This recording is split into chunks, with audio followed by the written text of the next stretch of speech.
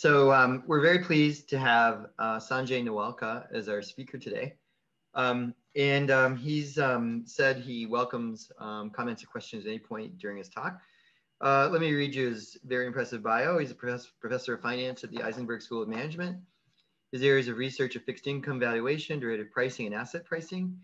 Uh, he chaired the finance department at the Isenberg School of Management from September 2011 to August 2018. You have my sympathies. He's co-authored four books, Dynamic Term Structure Modeling, Fixed Income Valuation Course, Interest Rate Risk Modeling, and Fixed Income Valuation Course, um, and Closed Form Duration Measures and Strategy Applications. So he's published over 35 scholarly articles in the areas of term structure modeling, risk management, and arbitrage pricing theory. And um, he's here today to tell us about um, P measures, Q measures, and R measures. Sanjay, take it away. Thank you. Uh, thank you, Peter. Let me, uh, yeah, welcome everybody. Thank you for this wonderful opportunity to present to your group. I am really looking forward to your comments and unlike some other conferences where we have a particular format, I would like this to be more informal and just shoot any questions anytime, uh, including the title of the paper if you don't like. Um, uh, also wanted to ba basically, yeah, let me let me start with the uh, uh, screen share of the PowerPoint and then we can begin. Yeah, okay. So here's, okay, so here we go. And today I've have had a slight challenge with my uh, um, just a slight throat issue I had. So every now and then, if I don't speak for like one second, you know, uh, I'll speak. Don't worry, I will not go away. yeah. Okay, so the title of the paper is A Theory of Equivalent Expectation Measures for Expected Prices of Contingent Claims. In fact, I would like to engage your group on one question, and Peter, you especially, can you think uh, another title of this, uh, which which one would have a longer lasting life. So the other title is this, a theory of equivalent expectation measures for expected returns of contingent claims. So just keep the thought, okay. you don't have to answer now, okay. but when you go through the whole paper, I would like some feedback, you know, like, should we just change that to expected returns? You know, that might, that's like the main contribution anyway. So, okay. and from expected prices come expected returns. So um, here's the motivation you know, you have uh, in investment world, basically you have equities, fixed income, and derivatives, which may include commodities and all those kind of securities. So that's our investment world. And of course, you've got real estate and other things, but these are the main areas that Wall Street looks at. And in equity research, it's really more about expected returns. Uh, so there's all kinds of models from CAPM to APT to Fama and French. Um, and, and, you know, probably hundreds and maybe thousands of papers about expected returns. And why? Why about expected returns? Uh, as opposed to, for example, valuation. How many professors can value an IBM stock or a Google stock? We don't do that. We do expected returns on an IBM or Google. Why? Because as academics, we have very little idea about future cash flows, which tends to be the main element in stock analysis and we don't know how to form those expectations about future cash flows. But discount rates are easier to estimate, which is related to expected returns, you know, uh, whether you use CAPM, APT, Fama, French, or whatever. So that's where the equity research is focused. Fixed income and derivatives research, uh, and let me, that's more about valuations.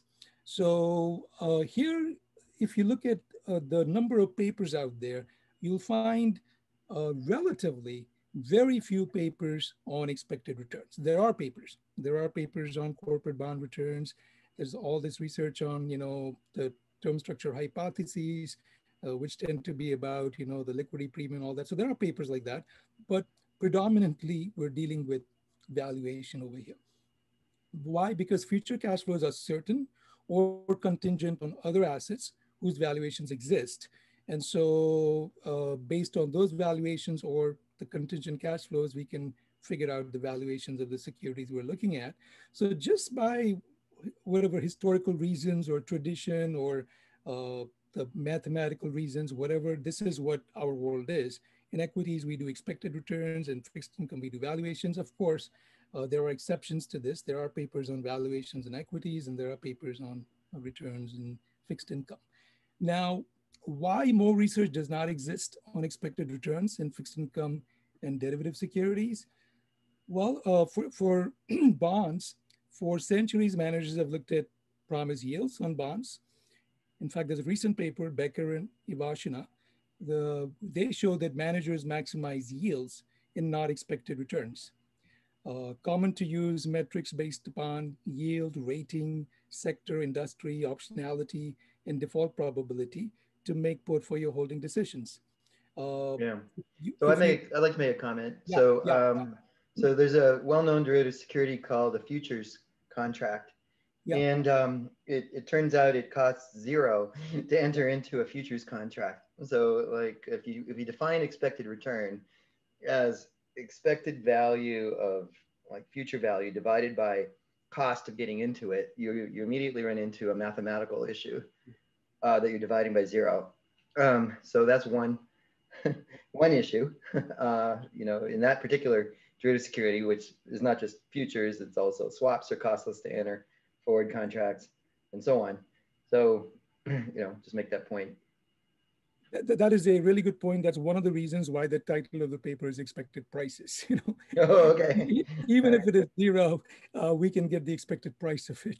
You know, because the expected uh, there'll be an expected uh, price of the whole swap at any time h. So that still works.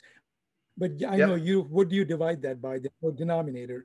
So there are some researchers who just for simplicity of you know uh, computation, they'll divide it by notional value, but but with the caveat that you know that's really not expected returns. It's you know it just gives you some denominator to make sense. You know, mm-hmm. you know to compare across. To compare across, whatever. Yeah. But but if you use it properly, then you know that can be used. But but uh, but that's a fair point. Yeah. yeah. So um uh but, but in in like you know corporate bonds where you got so many bond portfolios. Um, uh, even you got firms like you said, firms like Barra and all these consulting firms, they do a lot of this, but I've not seen uh, even mutual fund managers or or uh, Uh, bond researchers come up with a number like this is the expected return we think of this bond portfolio, like we do in equities. You know, we do you know with different equity portfolios, we can try to get an, get an estimate of expected return, but still, even in bonds, they got to make money they got to make expected returns but you know they do some combinations of yield rating optionality and all that and they get some kind of subjective idea what the expected return would be a lot of them are maximizing yields as becker and ivashina found from studying the insurance companies. And uh, derivatives are views, viewed as tools of hedging risk and not much attention is paid on returns. And a lot of times the data is illiquid or not available so that could be one of the reasons. So for different reasons, we don't do that. In this paper, we're hoping to give a, a way to get analytical solutions of fixed income securities, including treasury bonds, corporate bonds, all, even mortgage bonds. We haven't uh, talked about them here, but they're also valued under Q, so they can be also handled here, and all kinds of financial derivatives. Uh, so for them, what would be a general way to get the future expected price, or I would say expected future price at a horizon H, which is a fixed horizon H in your mind, how would you get that?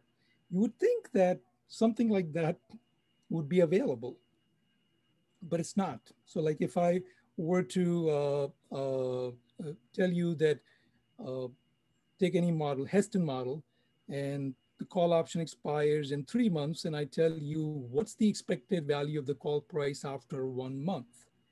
You would think an analytical solution would exist in finance by now. It doesn't exist. Uh, it exists only for Black-Scholes formula that Rubinstein did in 1984. So, so in general, for an arbitrary horizon, expected price solutions don't exist, exist except for two cases. One is terminal date. So terminal date of a treasury bond is just one dollar if you know you want to look at a pure discount bond or hundred or thousand dollars face value. So that obviously there. But let's say terminal uh, expected price of a call option. For that, solutions actually do exist. It's just that they were not noted until Broadie, Chernov, and Johannes brought this to the attention that the formula is because it is it does not have discounting you can simply solve this equation using standard procedures. You, know. you can, you know, this will exist even for Black-Scholes or Heston or using Fourier transforms also. There's no discounting here. So you just, the ST grows as a sum process and this expectation can be solved in closed form. So, so for terminal value. make a point. Um, so yeah. Um, prior to Black-Scholes, um, you know, people wanted to value options and, um, you know, they basically did take the expectation of the terminal payoff and then discount at some rate appropriate for the call. Um, So if you just didn't do that last step, then all those people did what you're looking for. So I'm thinking of like papers by, you mean, you know, I mean, like people before Black-Scholes. So um, Boness, for example. Yeah. yeah, thank you. So let's talk about Boness. So Boness did what I just said, which is he computed expected value under P of a call's payoff. And then he said, let's discount at some rate that's appropriate for a call. So if he just didn't do that last step, you know, which is like it's easy to, you know, not do that last step. He just okay, then anyway, he was doing it. So I, I think you should, you know, I wouldn't say it was first done by those people.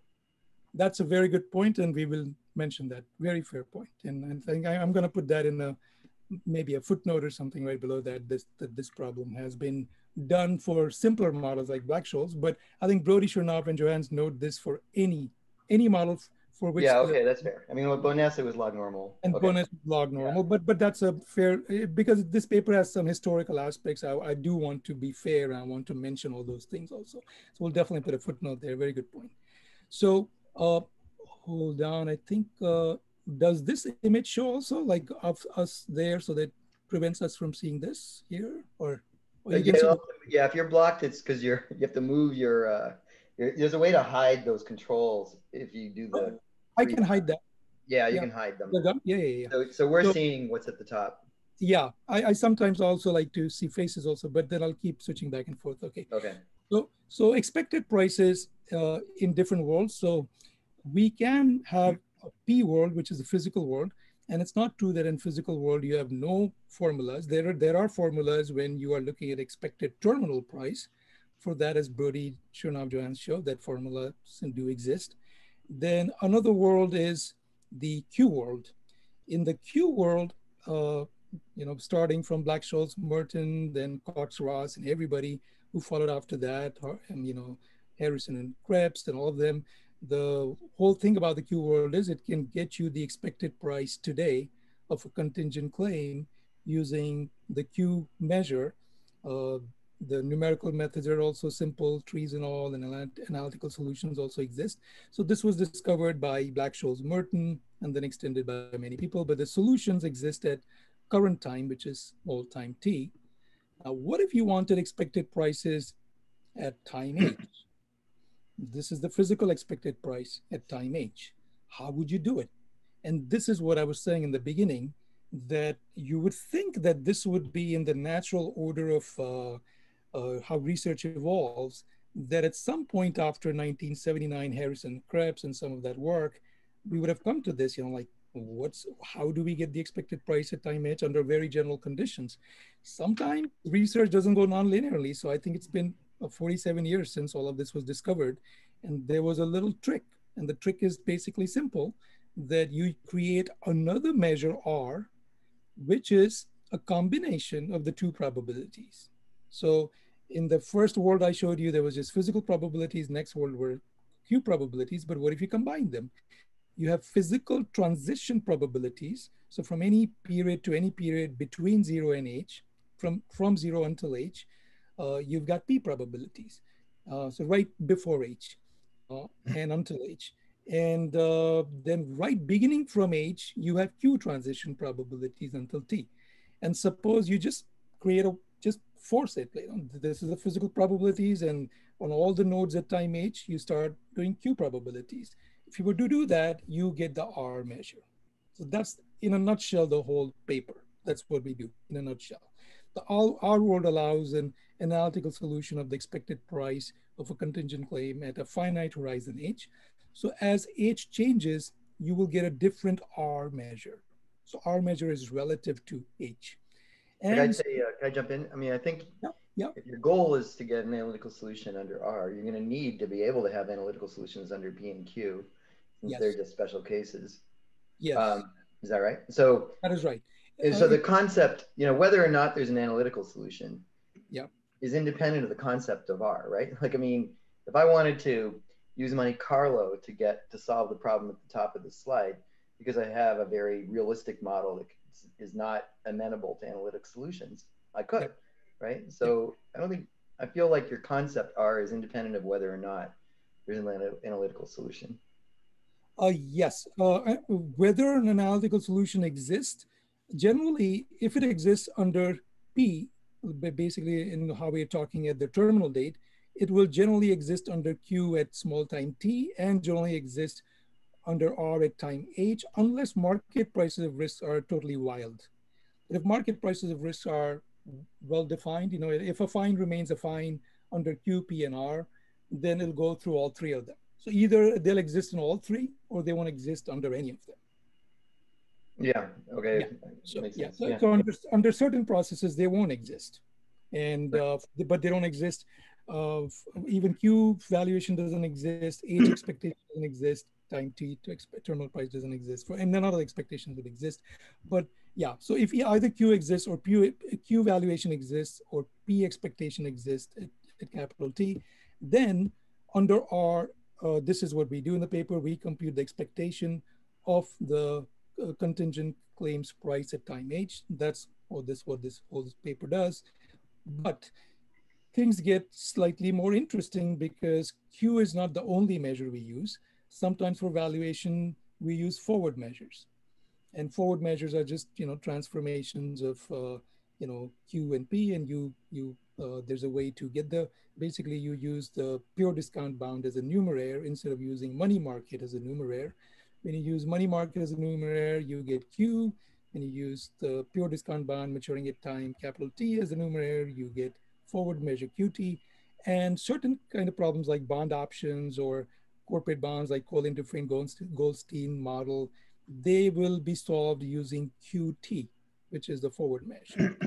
so if you have that, then corresponding to the QT, you will have something called RT, which will again have the same concept, P transition probes until time H, and then QT transition probes from H to capital T.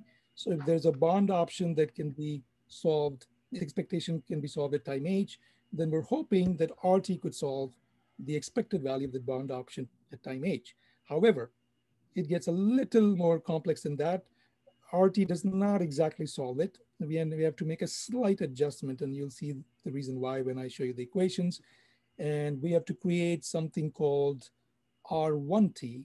So basically the QT transition probes, which are the forward uh, measure transition probes from H to capital T remain the same. They're the same.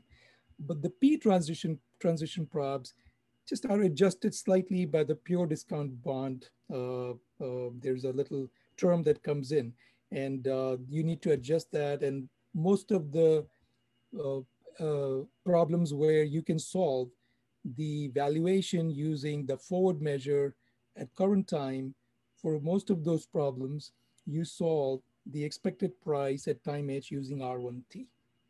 So not RT. So that's a little uh, complexity that comes in.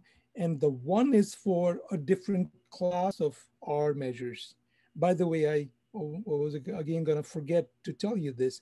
This whole R thing uh, was discovered by Peter in another paper, but he used it for something else. And uh, it was such a coincidence that we were talking about R. Hussein sent me his paper and there was this R everywhere. And Xiaoyang and I, and I forgot to introduce Xiaoyang too. She's also watching the presentation, my collaborator. Uh, she, has been an equal partner in this whole research and she's watching from Beijing. So when she and I saw this and we were like, our paper is ours. So we're like, what do we do now? So and then Peter and I got talking and Peter was very kind and generous and he looked at our paper and he said, I bequeath this measure to you. So we have inherited this from Peter Carr. Thank you, Peter. Okay, welcome. so that's a story of R. So anyway, um, this is the R1T world, and, and we will see there are two classes of R measures, R measures and R1 measures, as we'll see, there's, there's a little bit of, uh, once I introduce you, the whole notation, things will become clear and hopefully you won't get confused. But right now I'm just keeping it simple. Um, so now to start this paper, let's uh, look at the intuition. The intuition is uh, not that complicated. Here's a stock price tree, like the Cox, Ross, and Rubinstein binomial model. This is the up probability. This is the down probability computed in the same way as Cox, Ross, Rubinstein did. Stock price starts at 100, jumps up and down, um, and then, you know, constant, you know, volatility jumps up and down. And then when you come to H, then what happens is from this node, you go, sorry, I did not mention this. These probabilities are physical probabilities in Cox-Ross Rubinstein's, these are risk neutral probabilities. So though there is, a, there is one difference from zero to H, you do it like Cox-Ross Rubinstein, but in the computation, you don't use risk neutral probabilities. This is physical up, physical down, physical up, physical down. When you come, come to time H, that is when you start using risk neutral probabilities like Cox-Ross Rubinstein. So we are from physical, you switch to risk neutral. So suppose this was the, was the probability structure. Then this probability tree would be the R probability tree. That's what we call R. R is simply remaining P until H, becoming Q after H in terms of transition probabilities.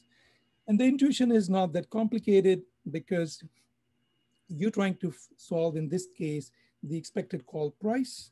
And this is the terminal value of the call prices, which you get from the from this stock prices on this date, and you value these terminal call prices using Q measure, and which is standard. So you get values at uh, time two. These are the call prices, 37.94, and 8.85, and zero.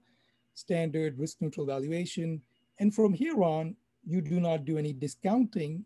You simply take the P expectation physical expectation of these three values over here. So this is a physical expectation, physical expectation of these values. And then you take a physical expectation here. So you get the expected price at time zero of the call at a finite horizon, which in this case is two periods. This is in a nutshell, the intuition of this paper, but things get complicated because of the forward measure and things like that. And we'll go over that, you know, but that's the basic intuition. So now, even though it's got a simple framework, it has very general uh, uh, connections to the finance field with a lot of interesting papers. So we develop a, the, the, the new R measures, we call them equivalent expectation measures and EEMs. And these equivalent expectation measures are not martingale measures.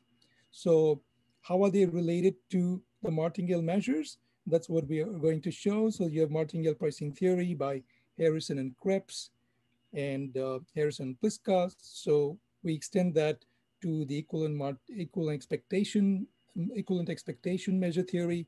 And as a special case of the EEM theory, we get the martingale pricing theory. Then another set of applications are, uh, there are transforms, uh, which are given by Bakshi and Madan and Duffie Pan Singleton. These were the very general extensions of the approach of Heston. Heston was the first one to give a what we what we've called in, this paper Q transforms to distinguish them from R transforms, but the original papers just called them transforms. So Heston is the first Fourier transform, and then Bakshi and Madan and Duffie give, give uh, a similar transforms, but they generalize them more. So they allow multiple state variables. They allow different boundary conditions instead of just a call option. And they show that these transforms are so powerful that they can handle things like Asian options and, and different boundary conditions, different kinds of stochastic processes, even more complicated than Heston. All of those problems can be solved. And so we, they do them for valuation. We generalize this uh, these transforms to our transforms, and we do them for expected prices. So if there is a valuation solution using any of these models, then uh, you will get a expected price solution using our transform. The final contribution of this paper is that it extends the framework of Breeden and Litzenberger, who discovered the state, they didn't discover, sorry, but they formalized it a little more, its connection to option pricing. It was discovered by Arrow and Debreu, the you know state price uh, idea, which is you know price Arrow Debreu prices are you know uh, you all know Debreu prices. So so they they Breeden and Litzenberger took the Debreu prices and connected them to the call price function. So they showed that the second derivative of the call price function is the arrow, the density in, the, in, in a continuous distribution. We generalize this to a new concept called the expected future state price density. And uh, using that, we're able to get a couple of powerful results, which I will talk about later. So th these are the three main contributions uh, in terms of the relationships with the existing literature the kind of questions we can answer with the existing literature. Suppose you have a, you know, Dai Singleton have a famous paper on the affine models, and suppose there's a 10-year treasury bond, and you need expected price of that bond over the next two, after next two months under A13 model. So we can, this our framework will give you the expected price as a closed form solution, which until now did not exist in a way. You could do it numerically, but not as an analytical solution. Then suppose you had, an, uh, had a model of, say, Jun Pan 2002 or CGMY model, Peter Carr and his other famous authors uh, from 2002, uh, which is a very famous Levy model. And suppose you wanted to get uh, the expected price after one month, then we can generalize that and the internet appendix in our paper has those kind of solutions. Suppose you had a corporate bond. There's a famous paper by Collin-Dufresne Goldstein in 2001. So suppose you wanted its you know, expected price, which would give you the expected return over the next quarter, then you can get a closed form solution using, again, in this case, R1T measure, which is a kind of related to the R measure. And suppose you had a long position in interest rate gap over the next quarter, and you wanted to get expected price and expected return under the QTSM3 model of Ahn Dittmar Gallant, which is a quadratic model, you could do that. So, so the applications are very general. All fixed income and derivative models, wherever Q is used, wherever it is used, and wherever you have analytical or numerical solutions, you can get analytical and numerical solutions using our measures. So overall, uh, you know, the paper does basically, as a summary, it derives a theory of equivalent expectation measures, which are mainly three measures we focus on, the R measure, the R1T measure, and another one called R1S measure, which is for exchange options, where uh, you exchange one asset for another.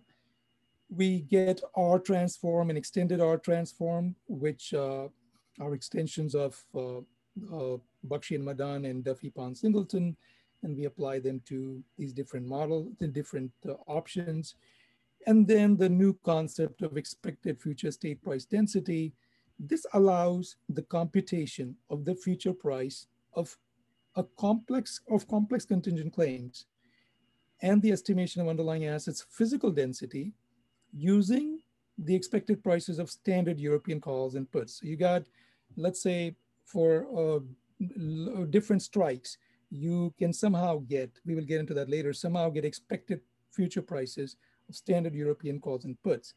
Then you can use the methodology, uh, the results on this paper to get the expected future price of any complex European claim with an arbitrary. Just quickly comment that yeah. you left out the word expected in the text. You said it, but it's not there in the text. So, oh yeah. So your your fourth line from the bottom, you want the word expected in front of future, right? uh, expected uh, in front of you. Yeah, yeah, yeah. Computation of the exactly. Thank you. Thank you for that. Expect yeah. future prices of complex claims. Yep, yep. This is like even as I'm speaking, I didn't note it. You know that that's oh, okay. why I need another pair of eyes to look at what we're doing because I'm just assuming. Thank you. Yeah. So here's the whole uh, setup. So we have two classes of measures in, in, fact, there's a third class, but that third class is not very useful. We show that in the appendix and a footnote, footnote.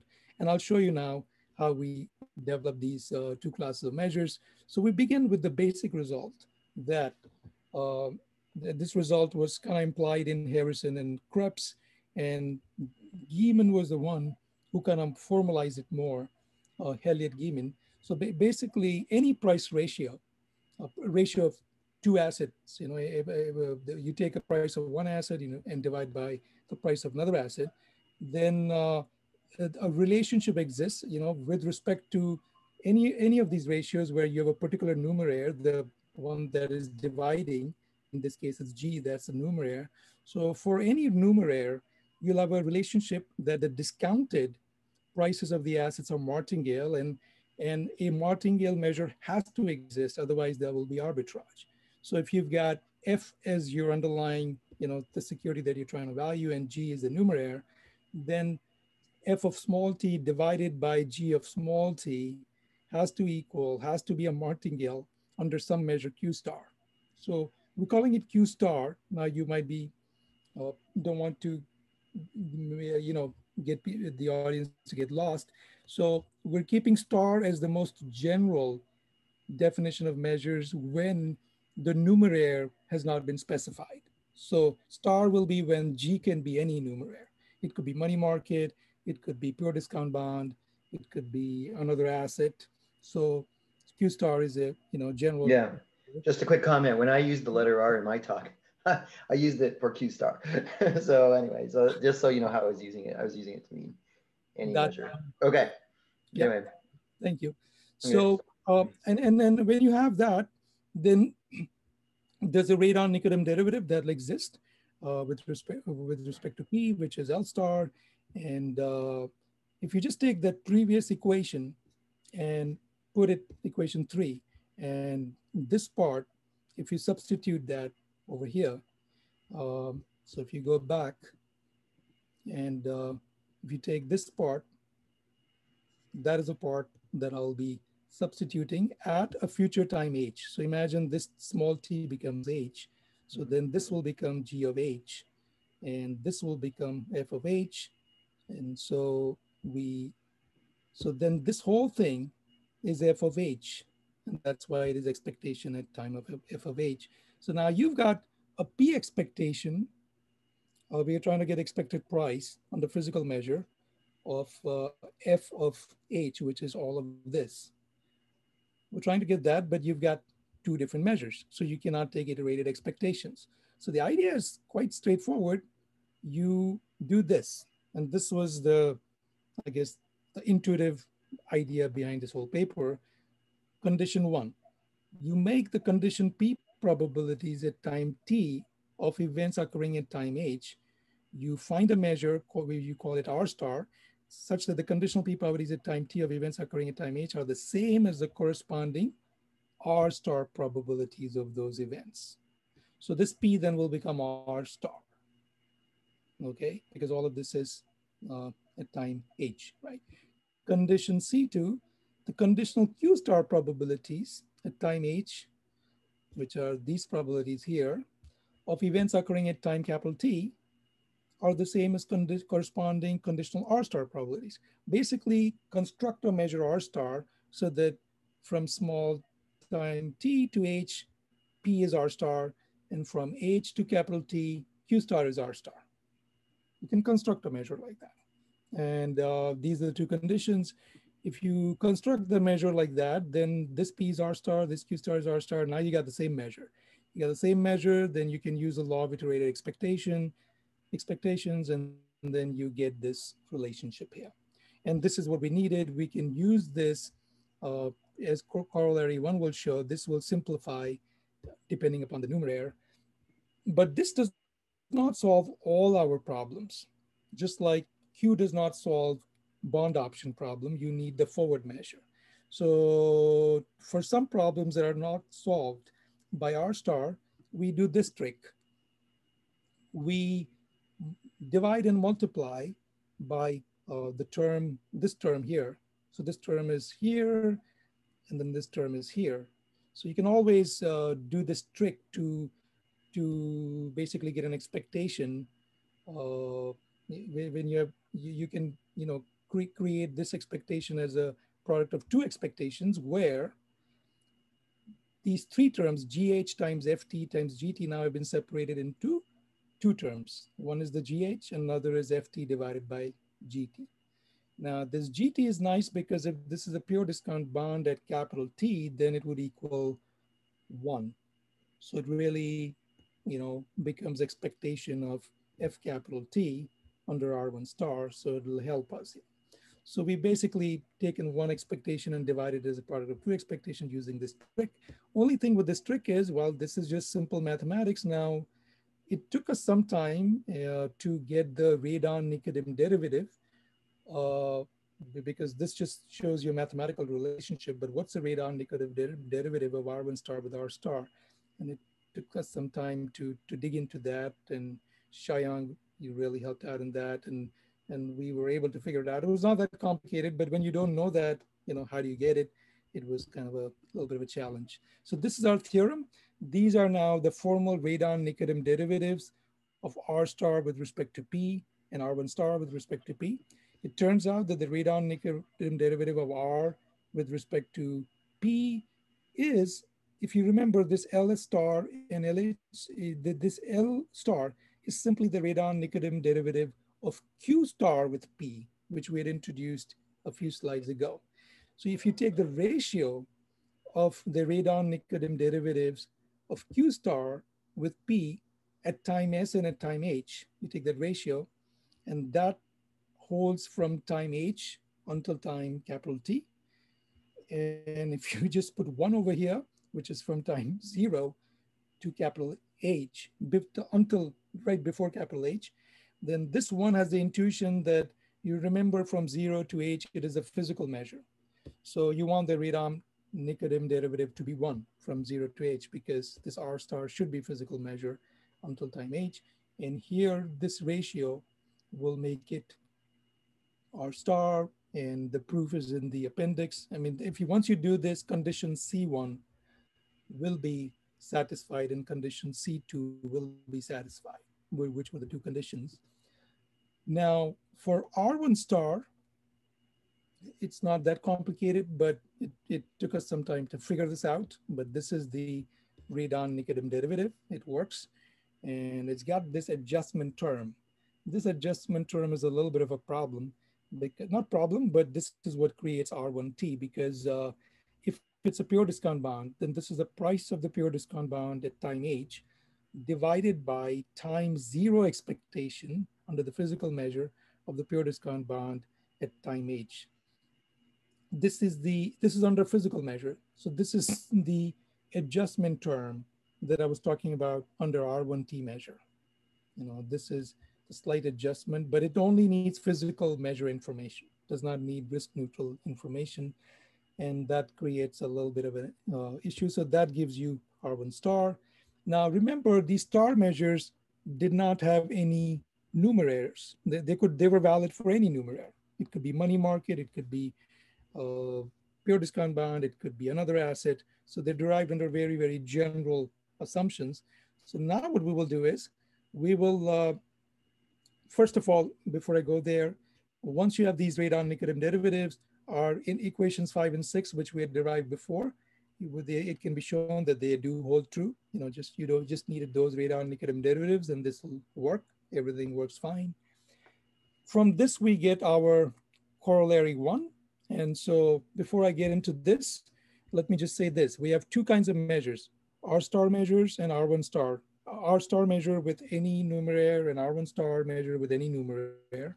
So suppose the three commonly used numeraires in finance are money market account, pure discount bond, which gives you a forward measure, and an arbitrary asset, which would be used for some exchange traded options like the Margrabe model.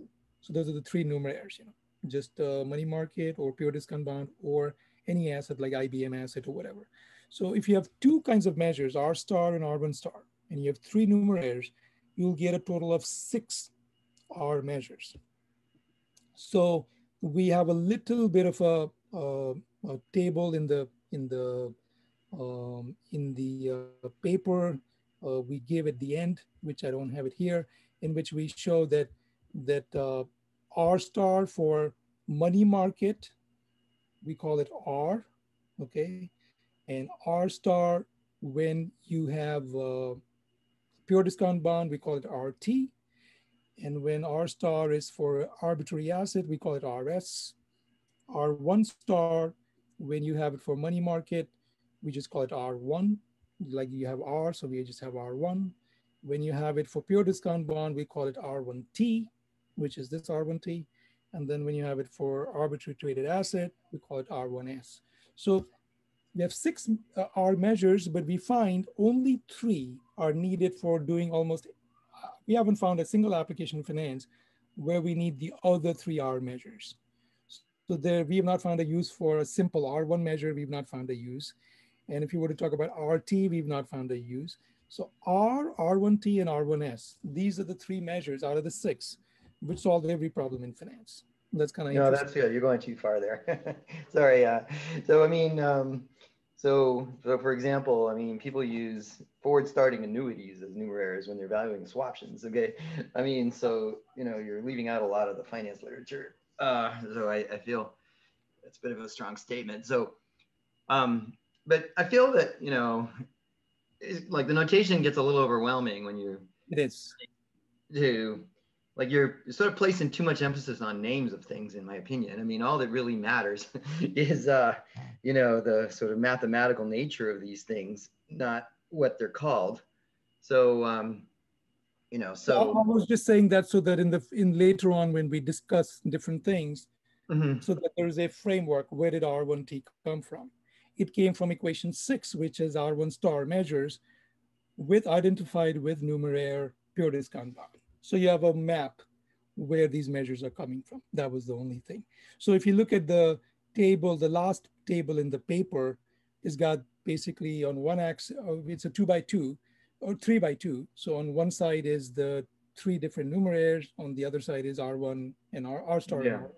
Like, okay, let me make this point. So the third, your very last bullet point, the numeraire asset is any arbitrary traded asset. So Yep. So any arbitrary traded asset. What if it was a pure discount bond? I mean, oh yeah, then it becomes R1T. Right. Yeah. So like, what's the point of picking out special cases when you've got uh, for for Margrabe model, for example, if you have an option to exchange IBM stock for Xerox stock, mm-hmm. then there is no money market entering anywhere. Yes. In the Margrabe solution, you will just have IBM price process and Xerox price process does Xerox even exist? I don't even know. I, am using examples. Yeah, okay, that's fine. So I agree with that statement of yours. And so um, then you, you would know, need awareness. But uh, I'm just saying, okay, so you're right. And, um, you know, and I'm saying if I then wanted to go from the exchange option to a, a standard option with a fixed strike price instead of a random strike price, so to speak, I could say, okay, the uh, the thing I previously called Xerox is now a pure discount bond yeah. And um, you know, I got it right. So so then like, it, then it would become R1T. Yeah. And in fact, and then it would become R1T and R1T itself, if we were to assume that the uh, money market account has a constant interest rate, no stochastic interest rates, will become R. So R1T will become R. So R1S is the most general, any asset. And if that is a pure discount bond, it becomes R1T. And if that pure discount bond has constant interest rate, then it becomes R. Okay, so, yeah yeah, yeah. So in that way. And your comment about the forward start options, I did think about it. So uh, that has some interesting uh, connection with this, but we've we've not we, we should do that. We should look at some value uh, expected price of a forward start option. Only comment I would make there is that in the literature, even whatever they're doing with forward start options, still they're do, using Q measure to do valuation only. They're not doing expected price at a future horizon H.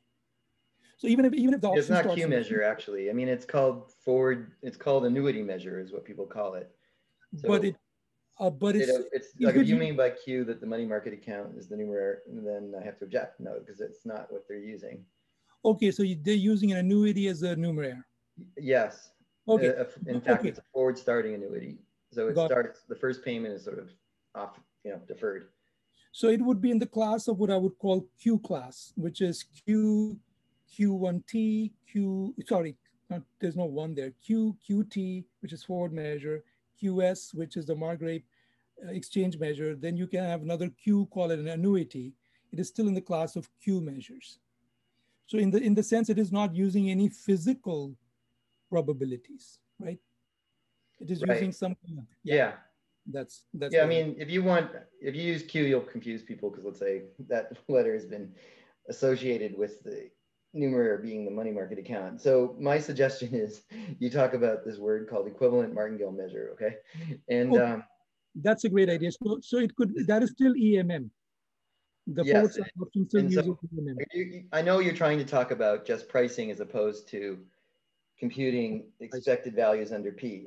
I, I, I know that's what you're thinking. And um, like I'm saying that if you do want to refer to pricing as opposed to computing expected values under P, then just as language, if you talk about equivalent martingale measures, you know, that's such a sort of vague word. It includes, you know, every measure ever used to do pricing that, you know, it'll capture everything you're trying to say.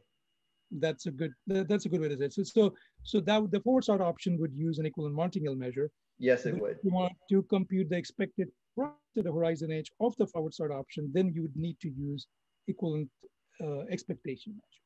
So that would be the only comment there. Okay. Okay, yeah, so we'll just keep moving forward. So uh, here are some simple applications. So we begin with Black-Scholes because it's the intuition is the clearest with this. So here's a physical process uh, under the geometric Brownian motion. Here's a risk neutral process uh, and use, use Girsanov theorem to do the change of measure. And then uh, we show that the R Wiener process will be connected to the it, it is connected to both P and Q, but you can write it uh, as something like this. It is the P Wiener process plus this integral. Now, if, if this was Q, if it was not R, then this inequality would not have been there. But this inequality simply says that the market price of risk becomes effective only after time H. Only after time H it becomes Q. Before time H it remains P. So that's basically the Wiener process uh, how it is related, and the stock price process would become this. This is very intuitive in one way that suppose we were not using Black-Scholes model, suppose this was some other process, a CEV process or any other process, complicated processes where you had mu and R uh, under P and Q. Whatever this mu was, it was some complicated term, you know, with three terms in it maybe, or whatever it was. But just by inspection, you could write the R process just uh, with the indication indicator function for, for the time less than h, you would multiply it by the physical drift. And when with the indicator function you have time greater than h or equal to h, you would multiply that by the risk neutral rate. And so this is not just for Black-Scholes, this will hold, this trick will hold for any process. And for Black-Scholes, it just turns out once you uh, put that uh, process and you just take its uh, expectation at, uh, uh, at time h, you take its current expectation, just using standard results, you will get this solution. There's a derivation the appendix in two, three lines, you will get the solution. This was first discovered by Rubinstein and uh, in 1984, but his solution required a property with double integrals with uh, normal variables and he used some trick to get this, the same solution. But ours is a much simpler way of getting the same answer. Now, this has a, uh, uh, little more interesting applications when you look at uh, other models, like affine term structure models, Dai-Singleton, you've got n-state variables, and you've got physical process. You know, this is a whole vector notation. This is a matrix of, you know, n-state variables. These are the market price of risk. So the way you will get the R process is if you add Q, then there would not be this indicator function, and this would be a Q process. But with this indicator function, this becomes the R process. And uh, under this process, these would be the solutions. The solutions are similar to the solutions of valuations, you know, with Dai-Singleton, except they have these H terms. So, so there's this t minus h, h minus t, h minus t. Basically, wherever you have uh, the uh, h minus t, that is kind of using this K and uh, this uh, phi. These are physical parameters. The star parameters are risk neutral parameters. Um, and in the boundary condition of this solution B1, which would solve from H to capital T, you've got the risk neutral parameters. Basically, from H to capital T, uh, it, it, the solution worked with risk neutral parameters, and then that solution from from H to small t will work under physical measures. So you get this whole solution, and this is under very general conditions, under all classes of affine models, A0, you know, did they have AM, N, M is the number of square root processes, N is the number of state variables, you know, they've got different classes of affine models. This is very general. And as an application, if you look at the Vasicek model, then here's the solution resembles the Vasicek's original solution in terms of, you know, the, what it looks like, but it's got some terms which have H in it, but, you know, not too much more complicated. And now this solution is very general, this closed form solution, you have H in it.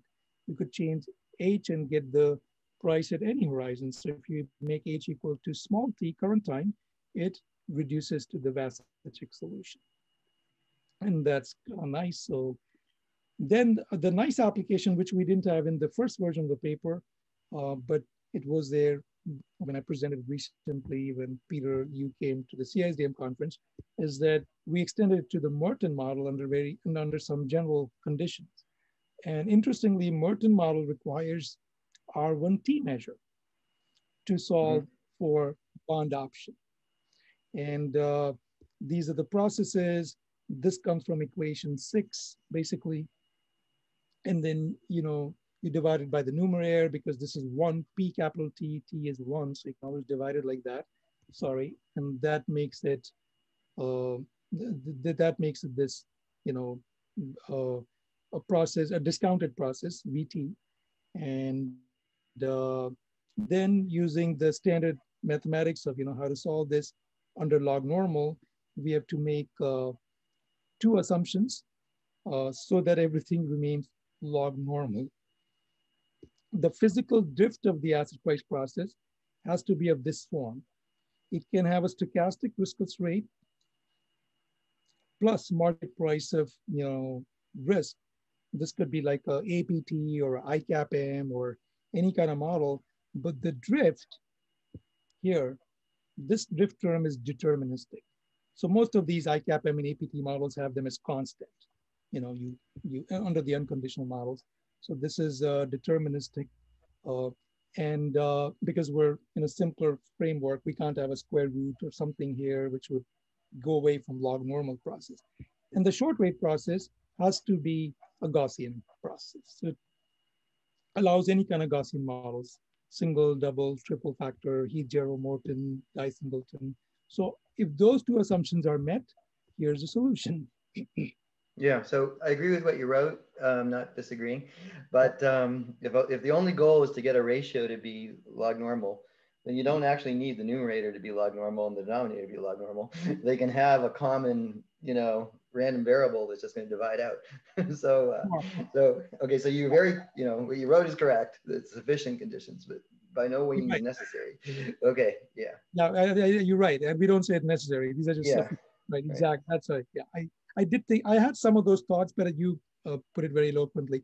But yeah, that's how it would disappear. But but that's why I, I did write sufficient because we've not investigated this properly. There are all these classes of models. What do you call them? The the what are those models called? Where you've got the random scale invariant, maybe random um, models and all that. You know, where you've got the two-dimensional Brownian. It's not Brownian motion, but you've got uh, two-dimensional Brownian motion random field and Gaussian field, Gaussian field models. So I think this applies even under Gaussian, all of the Gaussian field models are log normal. Most of are Gaussian basically. So it, this will apply even there, but we don't claim that because we've not been able to prove that completely yet. So we're, uh, we're looking into that. I think this is, this probably applies even to a Black and Cox model, this trick, I think. We've not proven that. The trick is simply this. The trick is that you take wherever there was the asset price, you make it expected price. And wherever there was the numerator's price, you make it expected numerator price everywhere, whether it's in D1, D2, whether it is here. If you just do that trick and leave the volatility way the way it was, it works. And I have a feeling, this is my conjecture, that if you were to look at the Blacks and, Black and Cox formula, Xiaoyang might, might correct me here if uh, that, or she might have an idea. She's not also not looked at it. But my feeling is that if we were to look at Black and Cox model and just made this change, change all the prices to expected prices, it would work. It would, uh, that formula would become, you know, but we've not proven that. But what the nice thing about this formula is take Merton's formula, change prices to expected prices in the formula, and that gives you expected call price, which not that easy to see why that should follow, but that works. And I, mean, I think this works only for log normal case. I don't think it is a very general result, but still a, it's kind of a cute result. So I, I, did send this to Bob. I've not heard from him. I said, your model generalized to H, you know, so you might like it. You know, so, hmm. Anyway, so that was Merton's model. And now here is uh, Collin-Dufresne Goldstein model. These are the processes under the P measure, the underlying asset price process, the short rate process. These are the market prices of risk. And then under the CDG model, the total firm debt follows a stationary mean reporting process, which is given here. This is a total debt. And there's a condition that once you define the log leverage ratio as a log of the, uh, the, the uh, FD term divided by the asset value, and that L will be following this process over here. And basically, when that L uh, uh, hits uh, one, you would default, and you know, and that is the condition we would use. So then our challenge here is to basically get these processes under the R1T measure, both for the log leverage ratio and for the short rate. And this is what we do. Uh, these are now under R1T measure and the appendix has a whole solution. It looks similar, very similar to Collin-Dufresne Goldstein solution, which has been extended by uh, an author named Mueller.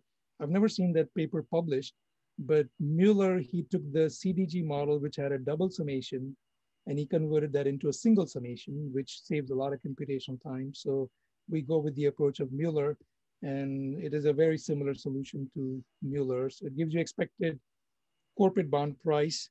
Uh, zero, this is for zero coupon initially, because if you've got a coupon maturing before horizon, then you have some reinvestment assumptions to be made. So we assume that until the horizon, no coupon is maturing. Okay.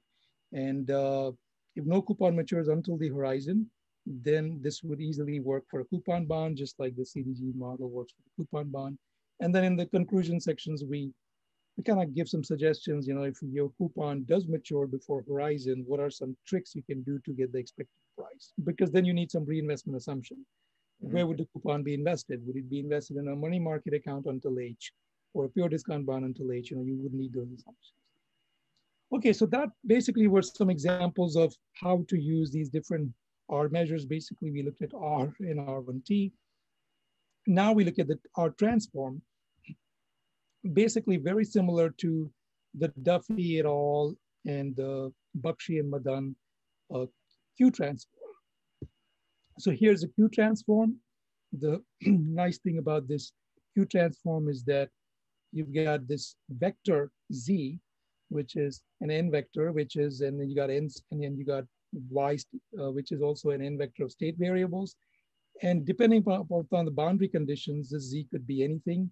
Um, did this, you know, nest all kinds of models, whether it is a call option, whether it's uh, different types of boundary conditions can be uh, factored in into this. So it's a very general transform, a generalization. It's like uh, the Heston transform on steroids, you know, it can do many kinds of tricks, many kinds of uh, solutions it can get. And so the only thing we have to do to make an R transform is change the small t to capital H and make the Q into R. And this is it. And that becomes a R measure and happens to be the same as this. P of Q, obviously, also this, which is you can get the same thing on only under Q measure. So there were these questions that kept coming. Some of the most interesting questions that have come from you also, Peter, and from Husseini, from Hussein, have been these, that why do you need R? Yeah. The, like, looks pretty good. I guess like the point is, I mean, yeah. well, you have this concept of what you're calling R. Yeah. And, um, you know, like you're choosing to work with yeah different probability measures, which is, you know, fine. It's a reasonable choice. But I'll just say the alternative is to fix one measure and we, I, you know, you'd probably prefer P, so we'll use P. And, um, and then whenever you want to capture what you're doing, like let's say you're at the later stage when you want to price, and then uh, you know you basically you use um, numeraires to um, accomplish the the math you're really trying to do, um, which so, you know. Okay, go ahead. So I, I, yeah, we had this discussion, and I, I do want to address this in a more detailed way because after weeks, Peter and I exchanged some emails. It was very productive. You know what we learned, I learned from him, and so so th these comments began with Husseini last year. He said, "Why do you need R? This Q does it right here, right?" That yeah. In, uh, then you know, right. okay, yeah, he's right. Okay. Then uh, Hussein, Hussein said, "Why do you need R? You can simply do this using P in fact, right. this term, this term here, this term okay. here turns out to be the stocha future stochastic discount factor. If you multiply this with this, if, if M is the pricing kernel, then M of capital T divided by M of capital H is this whole term. Okay, yeah, so you yeah. have a, you have a future stochastic discount factor, future because it's M capital T divided by M capital H, not M small t. So it's a future stochastic discount factor uh, multiplied by this, you can do it under P. In fact, your comment about the numeraires, what yeah. it turns out is that- so I'm just rewriting M those L's as numeraires, that's all yeah, I'm doing. Yeah. Is that MT by MH is really basically the numeraire process. That's what the numeraire comes into there. So, you know, the longs paper is a, it would be the same idea that you can do it under Yes, P. it would be. Yeah. So th th these are all similar comments, right? The yeah, numeraire comment of Long, Hussein's right. comment, Hussein's so, Right. So we're in agreement. Like, you know, all four expressions are equally valid. okay. They're all but, true. Okay. this um, is uh, this is my comment. They are equally true, but try doing try doing SVJJ model, which is the stochastic volatility double jump model. Try doing that under either Q or P. Try doing that. We found it impossible. Xiaoyang spent month, you know, maybe a couple of weeks trying to figure that out, and she's very good with, with her math skills. Mm-hmm. You cannot make progress because these terms, these terms, um, they have to be evaluated and then multiplied by these terms, and you can try them uh, because with with jumps and all of that, you got to get these uh, expected value of you, you know it's it's an expectation of uh, something evolving at time h with jumps. This is also evolving with jumps, and it becomes horrendously complicated. So you can, uh, she found one way to do Heston, but very, very complicated. You could do this in Heston. There's a way to. Yeah. Okay. So but what we're, let's say, yeah, let me make this point. Like, you know, there's getting closed form formulas. That's one thing. And then there's just, you know, do things exist, so to speak. Okay. And we don't worry about how we calculate things. And um, so on this latter point of view, you know, all four are equivalent. And I think what you're focused on is getting closed form formulas in particular models. And then I can see that, like, if you, you know, sometimes it's easier to, like, if you just compare, for example, the second line with the third line and just say yep. mathematically what's the difference, then mathematically what's the difference is the second line, yes, has two measures, but let's say the important point about the two measures is that two drifts are different under yep. the two measures. And so, you know, whereas on the third line is only one measure, so only one drift. So, exactly. you know, so, you know, in terms of doing closed form formulas, I can believe that, let's say the, the higher line, which is basically R, okay, yeah. Um, yeah. is, you know, is easier. Okay. Yeah. So that's what you're saying. in terms of getting close form formulas, it's easier to switch adrift than to, you know, not switch adrift and capture what you're trying to capture by multiplying by something. Okay, so that's basically what you're saying. And I can believe that's true. And, um, you know, but let's say, yeah, I feel that this emphasis on closed form solutions is a bit misplaced. I mean, it's helpful to give examples and so on, but but you know, numerically, yeah, there are plenty of models that are used in practice where there's no closed form solution, never will be.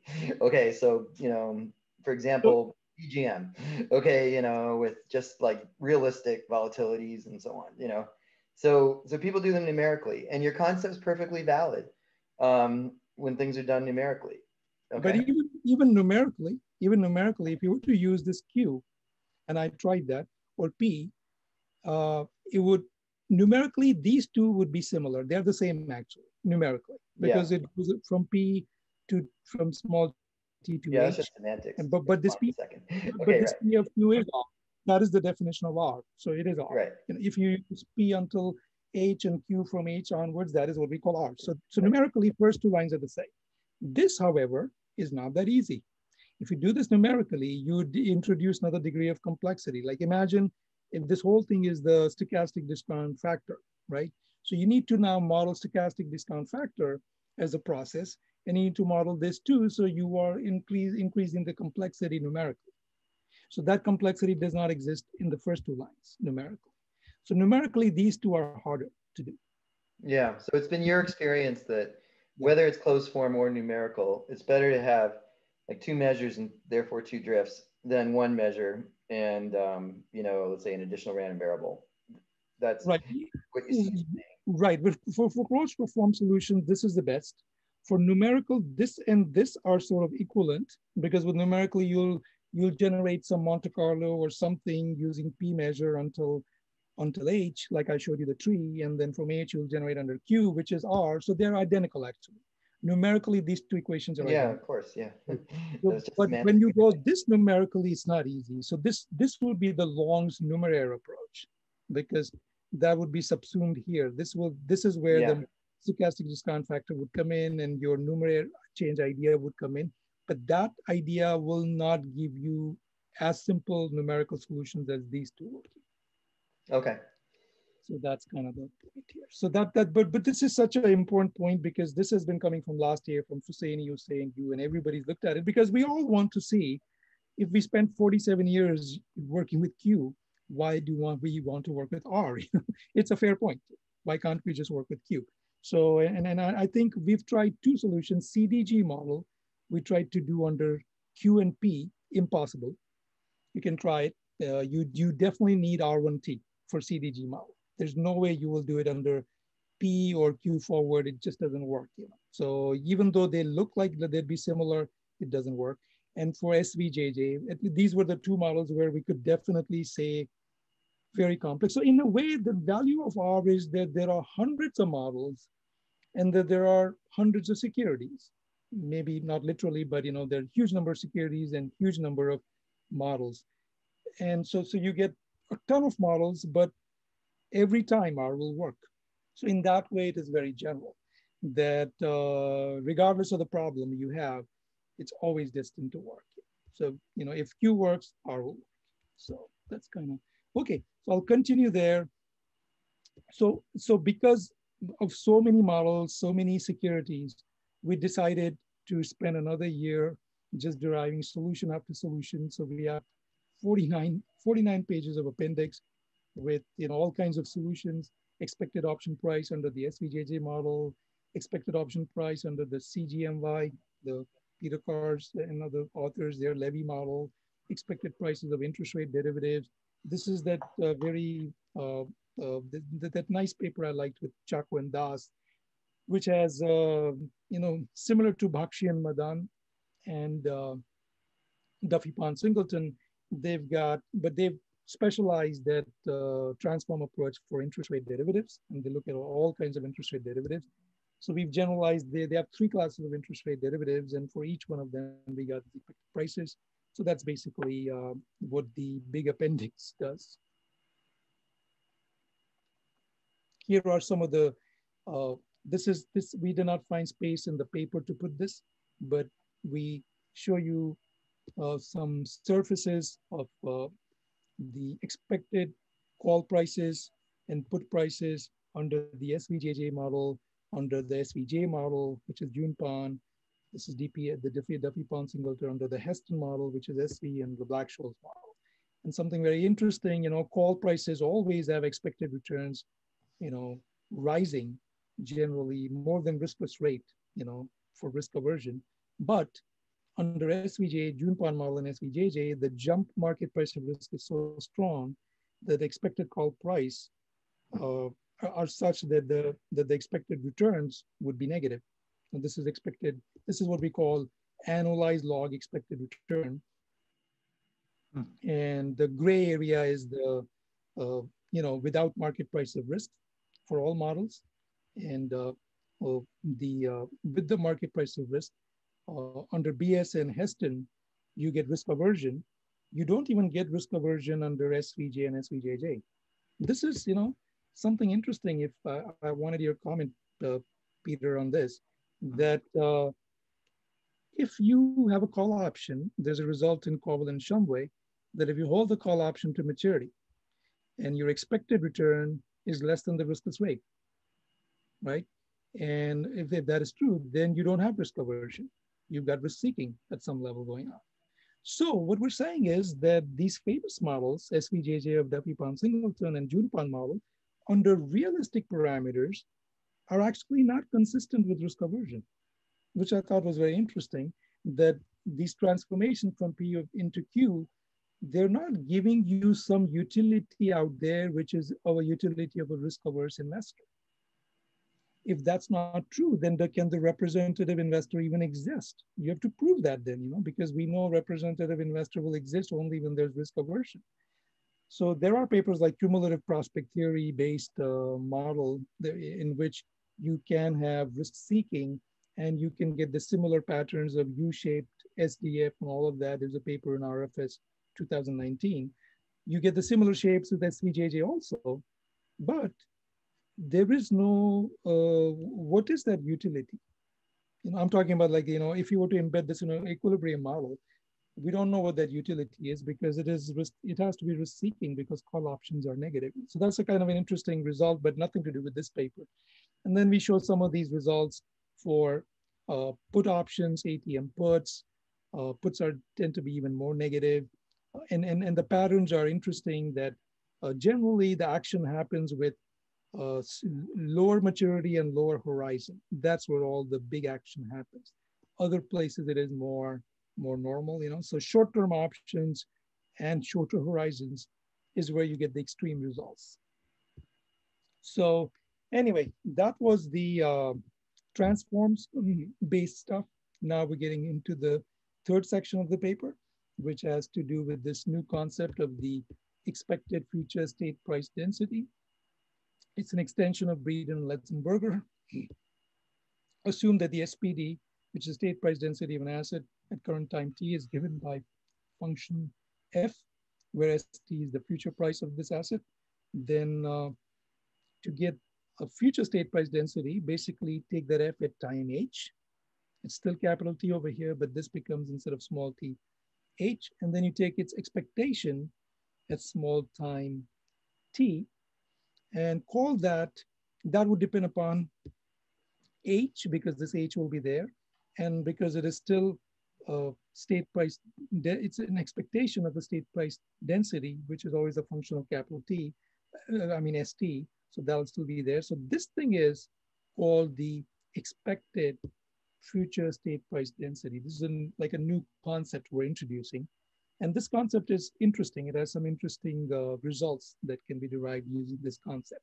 Here's a theorem related to this concept.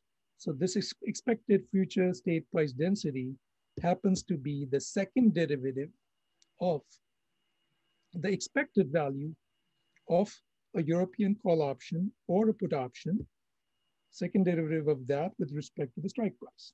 Similar to Breeden-Litzenberger, which was not expected price, but current price, and then that give you SPD, and this is expected future state price density.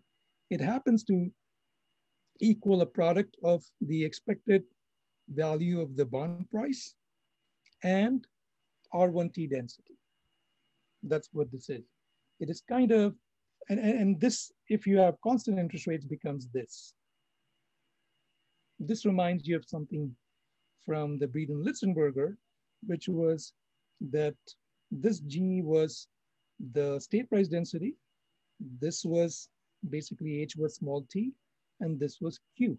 If you remember from Breeden-Litzenberger, uh, state price density is basically discounted Q density.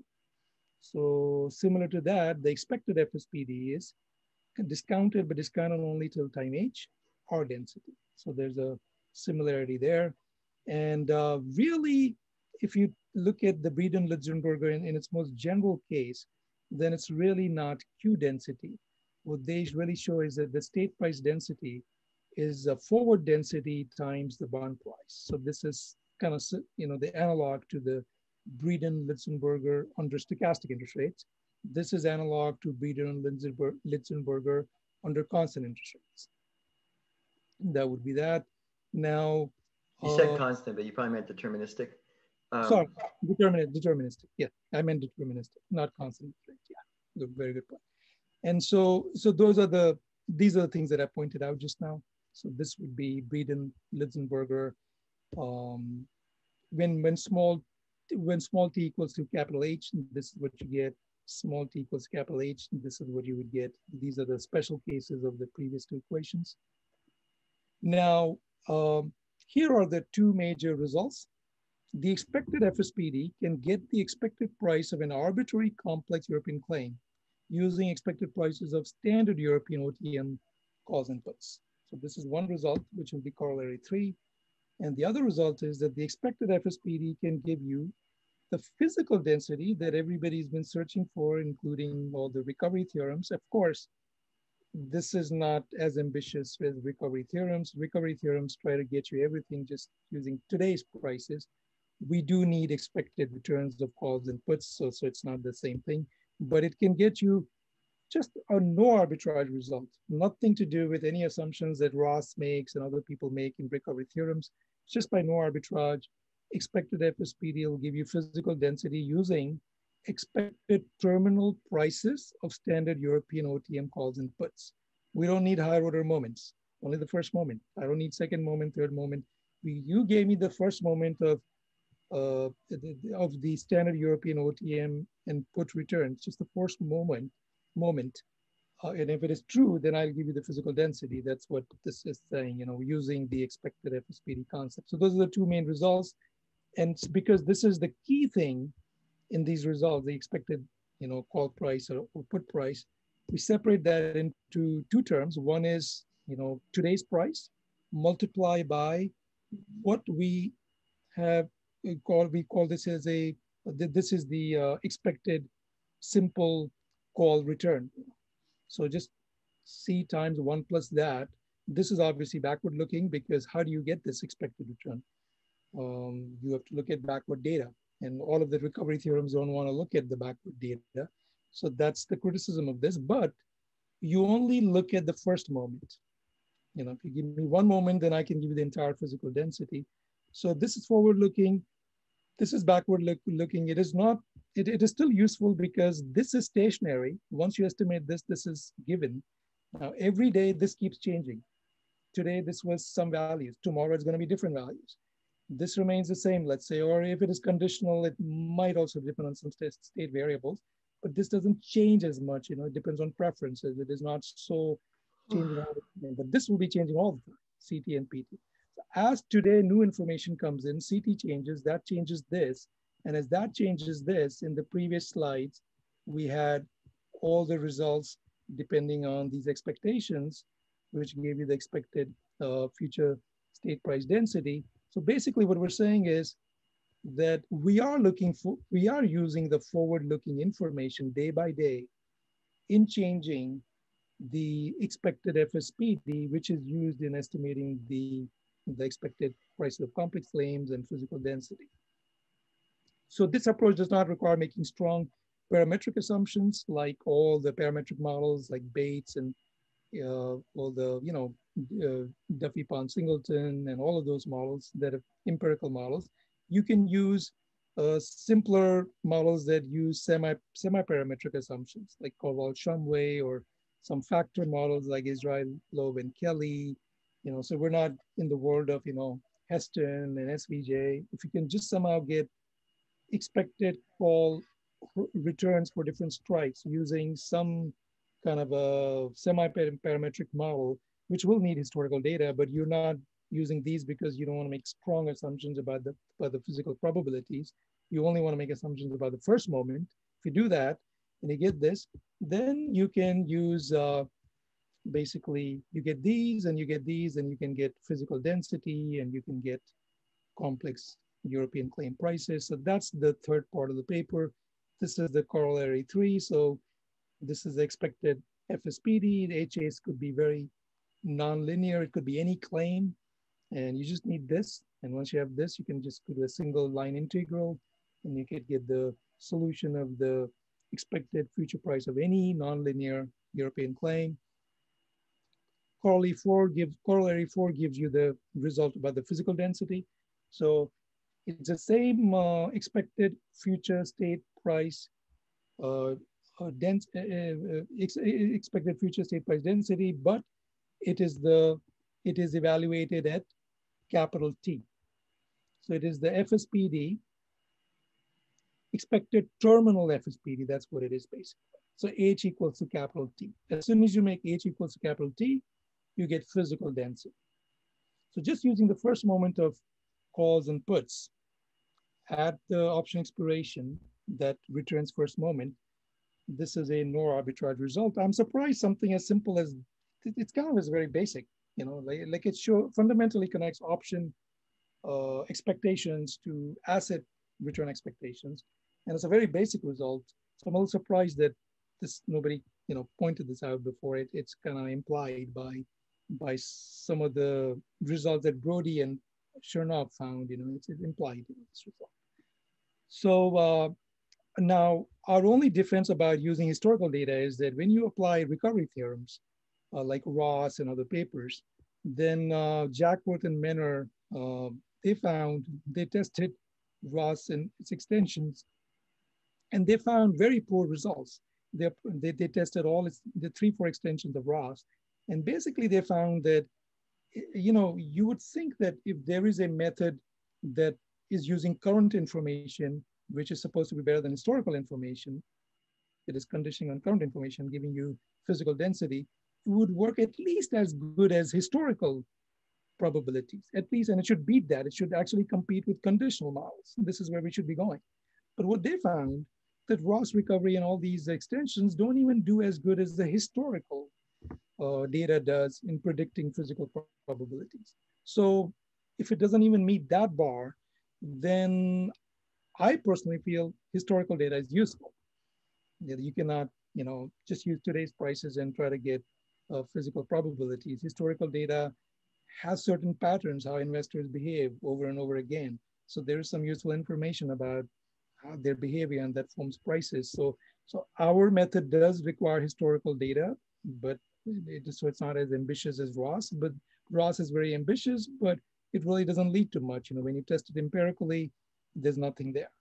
So anyway, I will conclude the paper here and then we can take more questions. So the main motivation was that an important gap remains in the understanding of expected prices and expected returns of contingent claims. We propose a theoretical framework to fill this gap. We propose the equivalent expectation measures as generalizations of EMMs.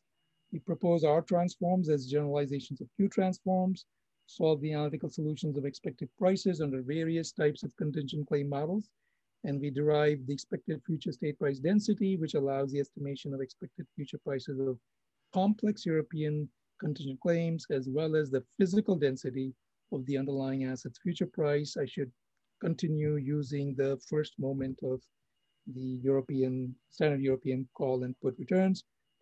And future applications uh, for parametric models can be made using R, because now you've got an analytical solution that has both P and Q parameters in just one solution. So suppose you applied the GMM and MCMC methods, you could in one shot get both P and Q parameters. So, you know, so we've not investigated all the empirical implications of this, but I'm sure it'll open up a host of uh, research ideas with changing horizon and uh, getting more robust estimates of P and Q using different horizons. Right now, you're only limited to the terminal date or current value, but now you have all the horizons in between, two-day horizon, three-day horizon, one-week horizon, all of that can be used with liquid options. So there'll be some future applications which will lead to more robust estimations of P and Q parameters, which basically give you R parameters. So that's the paper. And uh, I can. Okay. Uh, yeah. So, all right. Uh, so, uh, thank you. So, um, you haven't gone on much beyond the uh, one yeah. hour. One hour was the limit. Yeah, it's okay. Um, um yeah, I want to make one comment you might like. Um, yeah. So, you know, so um, you know, let's say what you're thinking is that um, you know you have a derivative security. Let's say it lasts a year, and you want to know the expected return over the next three months, say, right? Yeah. Or expected price. Let's say expected price. Yep. Okay, so that's fine. So that's perfectly valid as a thing you want to do. So I, I want to just point out that there are other problems that are possibly of interest. So you have a derivative security, it lasts a year, and um, you know I'm going to take its payoff, and um, I'm going to invest in something, and all I want to know is what is the expected value under P of what I have in two years. Okay, so okay, so that's a reasonable question too, and um, so the um, you know so you're you know you're only coming backward in time and um, I'm proposing you think about going forward in time as well. Um, mathematically, yep. the word I'm using, the mathematically it's called an adjoint, what I'm doing. So uh, yeah, yeah, yeah. So so the um, so in just in the pricing, and I know you're interested in expected values under P, but just in pricing, make the comment that there's not only backward equations like that you're familiar with, like Black-Scholes PD, but so-called forward equations that go forward in maturity, okay, rather than backward in calendar time. So right. those are adjoint to each other. And so what I'm saying is there's an adjoint of your R. okay. Right. The notation is called R star, but anyway, that would be very confusing given you're using R star for other things. But anyway, um, so so you know, so for your next paper, I want you to work out the theory of uh, of, of adjoints of R. Um, okay, where you, where basically you're moving you know, you're sitting at time zero, you're pushing a maturity date forward. And yep. at first you're working under Q. Um, yep. And then because, you know, and then at, you know, when let's say a claim matures, you're going to take the payoff and put it in something. So let's do a concrete example. So the simplest concrete example would be, you know, we know that the um, the futures price of a stock in for a maturity date of the futures in one year is the futures price $100. And, you know, mathematically, that's the expectation under Q of the, stu- of the underlying. And, um, and then, you know, I know that when I get this, um, after the futures matures, I'm gonna, just going to take, I'm just going to, you know, invest in the underlying and just hold it. And, um, and, um, you know, I want to know what is the expectation under P, um, of what I'm going to have um, when I do this. So, so you know, I'm just thinking that you could reverse everything time wise. Really good point. Yeah. First do Q, then do P, uh, rather than the way around. So, okay, anyway. So no, that, that is, that is yeah. a very good point. Yeah, we should think about that more. And only other comment I would make is that we only did this for the first moment expected, but mm-hmm. there's a whole world of risk return analysis. Yeah, true. So the, now we'll be doing the second moment, and you know, so yeah, that, one of your chat comments was about that. Like, so yeah. it was my my clip count, just paraphrase him. So you know, so of course when you're doing this R calculation, you need, you know, let's say you're doing it for a stock like you were thinking as the yeah. underlying. You need to know the expected return under P of the stock. But and so, you know, obviously that's a hard thing to estimate from data. Right. But at least the good news is, you know, if you're trying to calculate the three month return on a one year option, yep. at least you only need to know the expected return on the underlying stock for three months. you don't need to know it for longer. So at least the good news is, I mean, you're probably a little more luck trying to think about expected returns in the near future than the far future. Okay, you know, just so right, right, right, right. Whereas what I was proposing with this adjoint thing, I would actually have you propose try to get expected returns under P in the far future. So that's even that's really hard. Okay, So yeah. so um, so there's estimation risk in, of course, what you're doing. Um, but yes. you know, we knew that. So okay, all right, good. Okay, let's wrap up. So it's 7:30. If you want to have dinner, and um, thanks so much, Sanjay. Thank um, you, thank you, Peter, for and, and I I wish I told you to remind me when it was just 10. Yeah, I should have. I was just too entranced with what you were doing.